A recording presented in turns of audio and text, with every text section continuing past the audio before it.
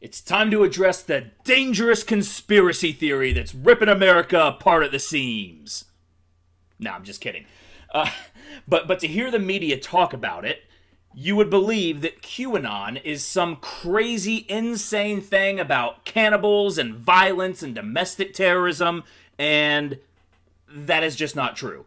Now, I am not a huge Q guy or anything like that. You don't really hear me talk about QAnon on the channel, but I have looked into it, and I have looked into it in pretty good detail. And I do have several friends that are diehard Q people. I mean, they, they really believe everything is real. And I think it's time that we address this because it's starting to become more mainstream. It's starting to be in the news. You're starting to see the press ask Donald Trump about it. Now, my personal take is that QAnon is a rather hit or miss thing. It is not entirely baseless, but there are the, the way that it works is you have this guy Q who most people believe is naval intelligence, and he drops these kind of cryptic posts that sends people in directions to research, and those are the anons, and they come back and they and they they put their research together and they form sort of a bigger picture of of what's going on with the deep state and all of that. By and large, it is sort of a the, the, the, the, media always frames it in terms of pedophiles and cannibals and all, all of all of the fringiest parts of QAnon. But really, the way you could describe QAnon is that the the different it's people researching the different methods in which Trump is actually trying to live up to his promise to drain the swamp. So, I mean, Q- QAnon, sure, th- th- there are some people on the fringes that think that there are people that eat babies and, and stuff like that. And, you know, that's the kind of stuff that I don't really, I don't really get into. I don't really buy into. That's, it's, it's, it's, it, it does get a little bizarre. But there is also parts of QAnon that talks about things like Obamagate, which we know are true. So it, it is a wide range of ideas. And I think what the biggest issue is that it's pro Trump.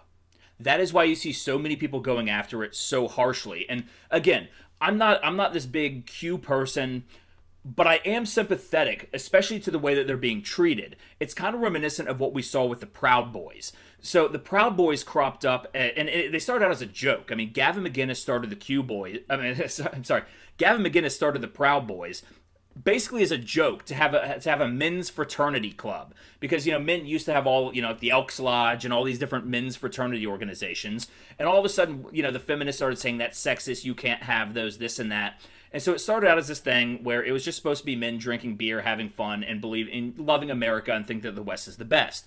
But as Antifa started cropping up and as Antifa started creating all kinds of trouble the Proud Boys, what they started to do was they started to go and escort conservative speakers into universities or or wherever they were speaking. Because Antifa would always show up and try to shut down the speech and this was in like 2017 18ish and the Proud Boys would go in and they just try to defend people and so they by and large would not start fights but they would finish them if Antifa started them but of course Antifa got a pass from the media constantly while the Proud Boys were vilified as a violent gang.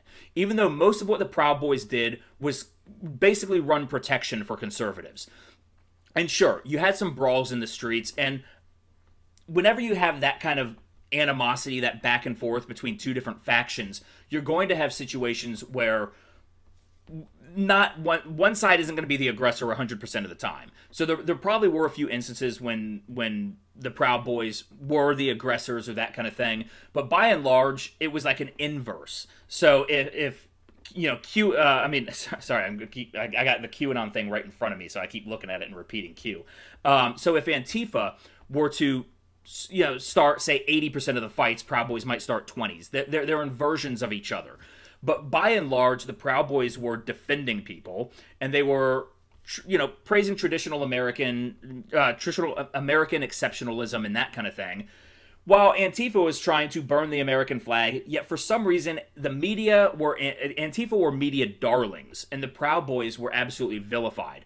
We're starting to see that now with the whole QAnon thing, and it's really disingenuous because we sat there for three years while the mainstream media espoused absolute conspiracy theories about Donald Trump and Russian collusion, going so far as to say that he's been a Russian agent since the 1980s. And then we had them jump from that onto uh, onto the Ukrainian scandal, which was really a scandal that was trying to cover up the Bidens and cover up the Democrats and what they were doing with Ukrainian aid and how they were sending billions of dollars of Ukrainian aid, knowing that it was going to be stolen by the by the Ukrainian oligarchs, and were likely getting money kicked back under the table for that aid. We're still waiting on on the Durham investigation. I think he's going to be covering a good bit of that because it's the source of the the Russian collusion narrative. So the idea that that, that QAnon, which is it is. Like I said, I have looked into it and I know a good deal about it. Do I believe all of it? No, not really. Do I think some of it is is onto something? Absolutely. It's not it, it's not all 100% one way or the other. Um but they're now treating QAnon as this crazy, insane conspiracy thing while they've been pushing conspiracy theories for the last 4 years. These people need a mirror held up to them and so we now have bipartisan lawmakers introduce House resolution condemning QAnon cult. It's not a cult. It's not a cult. In fact, it's mostly Christians.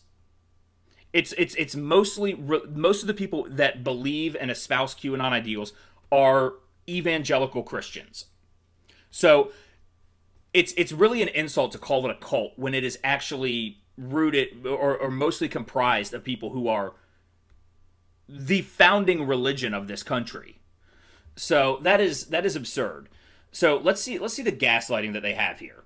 So after President Trump declined to announce far-right QAnon conspiracy theorists last week, Democratic Rep Tom Malinowski and Republican Rep Denver Riggleman on Tuesday introduced a bipartisan resolution in the U.S. House condemning QAnon and rejecting the conspiracy theories it promotes did we get any kind of House resolution condemning the Russiagate conspiracy theory? Do we have any House resolutions condemning the the new postal justice workers conspiracy theory? No, we don't. That is because we have a double standard. Do we have do we have a House resolution condemning Bigfoot or flat earth conspiracy theories? No, we don't. The only reason that we have a House resolution passing a Q conspiracy theory resolution is because it is pro Donald Trump and because they believe that Donald Trump is actually doing good things.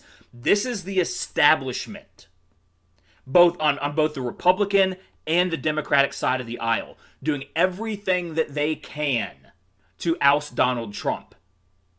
That's what this is about. This has nothing to do with conspiracy theories or things being true or things being false. But if you were to Google, if you were to Google QAnon and you were to look up, uh, and if you were to Google QAnon and look at any mainstream article about it, they all use the same terminology. They all call it a baseless conspiracy theory. While there are certainly parts of it that are a little out there that I that I, I look at, I'm kind of like, I don't know about this. But it's also not everybody because it's not a monolithic movement. It's not. There, there are people that, that think parts of it are valid and parts of it are not. And that's kind of where I fall in um, you know, I do think that we have a human trafficking issue, and I do think that we have a pedophilia issue. And all you have to do is look into the news and see all of the arrests, massive arrests that have happened with child porn rings, um, tra- trafficking rings, all of that. There have actually been a massive amount of arrests made in that field. So you can't look at it and say that it's baseless. Does that mean all the elements of it are true? No, but it's not baseless. So, let's go ahead and read this. Key facts. Our aim is to uh, is to full hold on. Our aim is a fully bipartisan congressional repudiation of this dangerous anti-Semitic conspiracy mongering cult. Listen to that rhetoric. First of all, you as a Democrat who are backing the Black Lives Matter riots and refusing to condemn them have no business calling anybody who has not committed acts of violence dangerous. Okay? Let's get that clear right now. Anti Semitic. It is not anti Semitic. There's nothing anti Semitic about it. And uh, sure, it might attract some kind of loony nut job type people who are into the whole idea of conspiracy theories just because of sort of the cryptic nature of it all. And sure, some of it is a little conspiratorial, but there is also stuff that you can research and find right right out in the open. So it's not entirely baseless. and conspiracy mongering cult, again, with the cult, that the FBI says is radicalizing Americans to violence. Hold on, full stop. Radicalizing Americans to violence? These are people on the right that believe in law and order. And you are going to sit here and say that it is radicalizing Americans to violence as we have Black Lives Matter, Antifa burning down major cities. And yet the media constantly refers to them as peaceful protests. They refer to them as protests and demonstrators. They never refer to them as rioters unless they absolutely have to. But they do everything in their power to cover up the actual violence that is going on in this country, and it is not because of QAnon. It is because of Marxist ideology that has plagued all of our cultural institutions. So this is infuriating. This is absolutely dishonest. Although the legislation is mainly symbolic, a vote in the House will require lawmakers to go on record regarding whether they condemn QAnon. Again, they did not do this for anything else. In fact, when when Republicans tried to pass a a um what what is it a, a resolution condemning anti-Semitism, na- naming o- naming Ilhan Omar, the Democrats refused to do it. They made it a broader thing about about condemning racism and hatred and bigotry in any form, and they refused to call out Ilhan Omar. These people are evil because they will look you in the eye and lie to you non-stop. They they will tell you that there is no violence going on. Um, who, who was it? Jerry Nadler. What Fle- Fleccas Talks approached Jerry Nadler and asked him about Antifa, and Jerry Nadler had the gall to say on video that Antifa is a hoax, that it's not a real thing. I'm sorry, but we have the internet. We can see the videos. We can see what happened in Kenosha the other day. Car dealerships being burned down, businesses being torched. We saw cops taking bricks to the back of their heads. And you're going to tell me that that's a, that that's a conspiracy theory, that that's a hoax. This is insane. You wonder why we get all of these people who are buying into conspiracy theories is because we know that the media lies to us. We know that we cannot trust a single word the media says. And then they want to go crazy because we go elsewhere for our information. And sometimes that information is good, sometimes it's not. But maybe, just maybe, if the media had not abandoned any sense of integrity that it had, then we wouldn't be in this place where everybody is going to the internet and finding these things that, again, some of it's real, some of it's not. But you no longer get to be the gatekeeper when you have constantly, constantly lied to us. No. All right. Twice last week, uh, Trump was asked directly about the conspiracy theory and twice refused to denounce the group. Last Wednesday, when a reporter informed Trump that QAnon followers believe the president is secretly saving the world from a cult of pedophiles and cannibals, which is an asinine way to put it. It's it's they, they take the most insane like like like kind of the craziest parts of it. The, the the most bizarre sounding parts and they and they phrase it in the most bizarre way to make it sound as crazy as possible. When I mean, we we've seen Michael Flynn out there, you know, you know, uh, excuse me, um, saying "Where we go one, we go all" and that kind of thing. Michael Flynn. So, I don't want to hear this shit. This is all about Trump.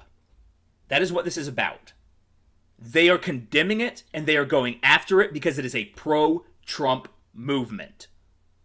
So last week, when a reporter informed Trump that QAnon uh, uh, believed that he was secretly saving the world from a cult of pedophiles and cannibals, Trump claimed he hadn't heard that before adding, "If I can help save the world from problems, I'm willing to do it." What's wrong with that? We want a president who's willing to help solve problems in this world especially when it comes to things like like pedophilia. And you want to tell me that that it's baseless to think that there are a bunch of powerful pedophiles running around? Excuse me, Jeffrey Epstein exists. Jeffrey Epstein was there, there are tons of rich and powerful people connected to Epstein that are on his flight logs that have been to his island. And you're going to tell me that this is baseless? Look, like I said, I am not some Q waving person but I do understand when I'm being absolutely gaslit by the media. And that only makes me want to look into QAnon even further. That only makes me believe in QAnon even more. Because it makes me think that if this is such a threat, who is it a threat to? Because they're not out there committing violence. And if it is about Donald Trump draining the swamp, which it is, then who is the threat to? It's to the establishment. It is to the swamp. And why would they be going so nuts about this if they didn't think that it was going to help get Trump reelected and help Trump further drain the swamp? This is about power. That is all this is about. So Trump went on to praise QAnon supporters, claiming they love America. It's true. They call themselves patriots. They, it is a patriot movement above anything above all the like weird cannibal stuff that some pe- that some people in the movement espouse. It is a patriot movement, which is one of the reasons why I don't dislike it. You know, I mean, like I said, I don't think it's all right, but I don't think it's all wrong either. But I do like seeing that is engendering a sense of patriotism among people. And for that, I won't condemn it. I won't call it crazy or baseless. It is good to see Americans standing up and fighting the establishment, fighting the established powers. So maybe they don't get everything right. Big deal. Um, Trump went on to praise QAnon supporters, claiming they love America, and added, I understand that they like me very much, which I appreciate. And again, that is what this is about. Because they like Donald Trump. That is it. That is all this is about. The FBI has identified QAnon conspiracy theorists as extremists who pose a domestic terrorism threat. Well, you know what else the FBI did? They also tried to overthrow Donald Trump. They tried to form a, they, they tried to stage a coup against him. They were part and parcel of the entire Obamagate plan to sink the Trump presidency. So, key background QAnon conspiracy theory is believed to have started on the anonymous message bo- uh, board platform 4chan in 2017. Q supporters claim Donald Trump is defending the planet from a collection of Hollywood actors, liberal politicians, and deep state government officials who are running secret child sex trafficking ring. Okay, let's let's just um let's just scratch this who are running a secret childhood se- uh, child sex trafficking ring and let's just say defending the planet from a collection of Hollywood actors, liberal politicians, and deep state government officials. yeah, yeah, I can buy into that right away. I can buy into that right away. Because we do need to be safe from these Hollywood actors and liberal politicians and deep state government actors. That stuff I do believe in. Um, and you, you want to tell me that there, there are no child sex trafficking rings? We've already seen NXIVM be taken down. We've already seen Jeffrey Epstein be, be, be taken down. We know that there is a massive pedophile issue in Hollywood. We hear actors talk about it all the time. So to tell us that this is that, that there's no issue here is absolute gaslighting. And we also know that Donald Trump has passed resolutions, executive orders targeting corruption and trafficking and human rights abuses. So we know that this has been part of Trump's agenda because he doesn't, he doesn't do things for no reason. He doesn't write an executive order just to put it on the books and say, oh, well, I did that. That's good. Trump is a man of action. So we know that Donald Trump is actually fighting this, not only because of that, but because we've also heard him talk about it. We just saw in the plan that he put out, his agenda for his second term, that part of it is dismantling human trafficking rings. And the fact that they are pushing so hard against this, pushing so hard to make people believe that none of this is real, that none of this is happening, only makes people believe it more. Because why can you not engage honestly and say that yes, we do have issues with child trafficking and with human trafficking. Why can they not say that? Because we can see verifiably that we do have those issues. But the fact that they won't even cover that means that how if we can't trust you to even cover that, how are we going to trust you to be honest about QAnon? We can't. And then you wonder why these movements grow. It's it, it, it's flabbergasting, really. All right, surprisingly, the theory has Surprisingly, the theory has gained mainstream traction over the last few months. Trump has retweeted four congressional candidates who have promoted QAnon, helping them rack up hundreds of thousands of followers on Twitter, Forbes reported last week. So what? So what? Who cares? Let, the, let them have their beliefs. This is America. We have freedom of speech. We have the ability to have views, even if they are a little bit crazy. You have the you, you have the right to have crazy views and espouse them and talk about them. Um, so recently, several prominent Republicans, including federal uh, former federal governor, uh, for, former Florida governor George Bush, promoted. Um, sorry, I, I, just got. I just heard my my. I've had a couple things go on here that, that just, just distracted me. So hold on. Recently, several prominent Republicans, including uh, former Florida governor Jeb Bush, former Bush White House press secretary Ari Fleischer and Rep. Adam Kinzinger of Illinois criticized pre- the president for his refusal to denounce the group emphatically. Well, gee, I wonder why. I mean, it's it's it's amazing, isn't it, that the people that they go to are the Bushes, people who are part of the entire establishment. We don't trust. I mean, like the, the, the Trump era Republicans don't trust the Bushes any more than we trust the Clintons. We don't. We don't trust the establishment. That's why we support Donald Trump, is because he's in there draining the swamp and trying to get rid of the old guard who, whether you're QAnon or not, whether you're QAnon or just a regular Trump supporter, you believe that we have been taken advantage of by the establishment for too damn long. And that's the crux of it. It is pro Trump, which means it's anti establishment. And of course, the, the, the, the Republicans that they bring to the table are the swamp monsters. Jeb Bush. What a joke. Senator Ben Sasse of Nebraska told the Washington Post that QAnon is nuts and real leaders call conspiracy theories conspiracy theories. Denver Riggleman. Uh, okay, well, all right, my, my computer is having some issues. Um, Denver Riggleman, who introduced the legislation today called QAnon conspiracies a danger and a threat that has no place in our country's politics. Okay, well why don't you start why don't you start condemning some of these Marxist groups? The Black Lives Matter. Condemn them. They are the ones that are actually burning down our cities, that are burning American flags, the ones that are talking about abolishing our police, abolishing our prison system, abolishing everything that America is. And you want to talk about patriots being a threat? This is this is insane. The, these are the people that need to go. Um, Riggleman added, I condemn this movement and urge all Americans to join me in taking the steps to include them and other extreme conspiracy theories from national discourse. I'm sorry, but we have freedom of speech. You cannot exclude people from the national discourse, especially if it is a large group of people. We have a people have the right. We as Americans have the right to talk about whatever we want to talk about.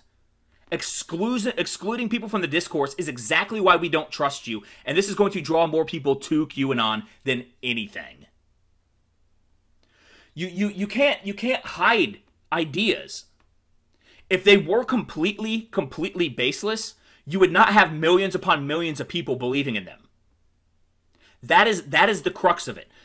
I've, I've said that about five times. This is the crux of it. I, I mean, there, there's there's a lot to it, but you know, if, if this was as baseless and as insane and as crazy as they say it is, then you would not have this many people going into it that are finding it from what was the fringes.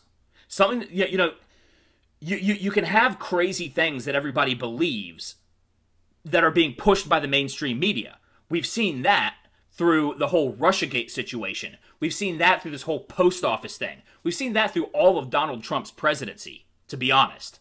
But you don't see things go from the fringe that, that seem kind of kooky and then all of a sudden they start making sense to people. You don't see that happening if it's entirely baseless. Again, I'm not some huge Q person, but I don't like being gaslit on it. And I do think that there are things that Q talks about, that the, that the people that follow Q talk about, that are real issues. I just don't necessarily go as far as a lot of those people do. Or, or not even a lot, some of the people. So, tangent. Last Wednesday, Facebook announced it removed 790 groups, 100 pages, and 1,500 ads connected to QAnon, while also restricting over 10,000 accounts on Instagram, according to NBC News. A recent inter- uh, internal investigation by Facebook determined that QAnon had millions of members and followers on the social platform. And that's the point that I was making. You don't gain millions of members or millions of followers from the fringes you can get millions of people believing in lies if they're espoused by the, the, by the legacy media, which we which we've seen. That is essentially the entire Democratic base at this point. That have bought into absolute lies, but they're pushed by mainstream credible sources. And now you get people getting news from non-mainstream, you know, not cred not quote unquote credible sources, and they want to tear it all down because it is a threat to the establishment. Surprising fact Eric Trump, President Trump's middle son and campaign surrogate, promoted QAnon in an Instagram post in June. The post showed an American flag with the message and letter Q, the symbol for the fake, I mean, for the conspiracy theory. The, pro, uh, the, the bottom of the, the photo included the group slogan where we go one, we go all. Maybe that should tell you something. If we even have people like Michael Flynn or an Eric Trump not you know, actually promoting it. Maybe they know something that you don't. Or maybe they know something that you're trying to hide. Critical quote. After after calling neo Nazis and white supremacists Charlottesville, they are lying to you. This is why we don't believe the mainstream media. After calling neo Nazis and white supremacists in Charlottesville very fine people, that is a lie. Donald Trump, on the spot, denounced all the white supremacists and all the neo Nazis. Yet they will lie to you and tell you, and, and to this day, Joe Biden still runs his campaign on that lie. So, you know what? It, it, it, even if QAnon is some crazy conspiracy theory and none of it's true, this is what you deserve, media. This is what you deserve, establishment. You deserve to be taken down by whatever whether it's QAnon, whatever, because you're lying and you know you're lying. And tear gassing peaceful protesters. Look at this. Look at this. So, after calling neo Nazis and white supremacists in Charlottesville fine people and tear gassing peaceful protesters following the murder of George Floyd.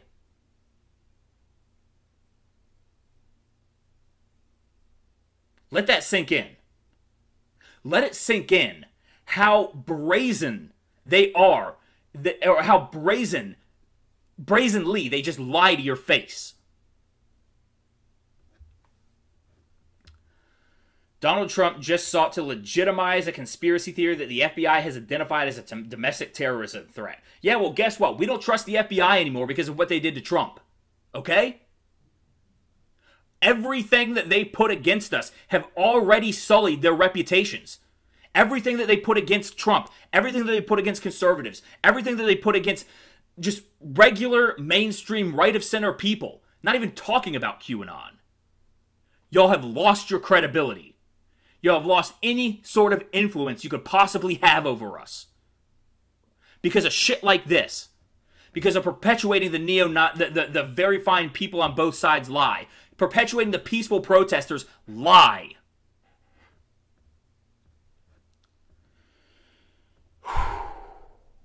Oh, yeah, and that came from a, a, spokesman from the Biden campaign.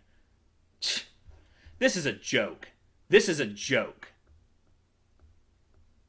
Uh, yeah, it's you know, there, there, was a funny thing going on. It, it was it was actually from We the Internet TV with Lou Perez, who I, I actually I actually know Lou Perez. Um, I actually worked with the organization that funds We the Internet TV.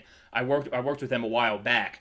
Um, so he put out he put out this thing called um, "Stop Making Me Defend Trump," and it was funny because it was true. You didn't have not, you weren't you didn't you weren't necessarily a Trump supporter but you constantly had to defend them against lies because at the end of the day you still don't want you still don't want your attacks against somebody to be rooted in lies. Well right now it's like you're making me defend qanon because you're lying about it.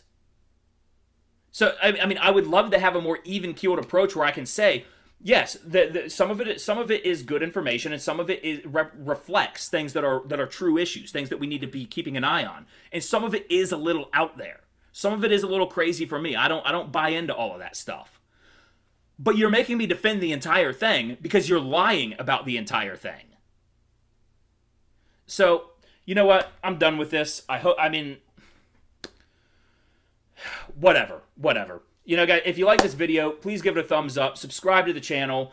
We need more people out here speaking truth and, and, and not gaslighting and lying. I will I will flat out say that some of the stuff in QAnon is a little crazy. I will flat out I will flat out admit that. But I will also say that some of it is spot on. Some of it is tackling real issues. But it's anti-establishment, it's pro-America, and it's pro-Trump, and those are the three big reasons why they want to kill it. Anyways, guys, follow me on Facebook, Twitter, Instagram, and Parler at Ram Thorburn. If you're interested in, in uh, contributing to the channel, there are links to my Subscribe Star, Patreon, and PayPal in the description below. Thank you guys for watching, and I hope you have a wonderful night.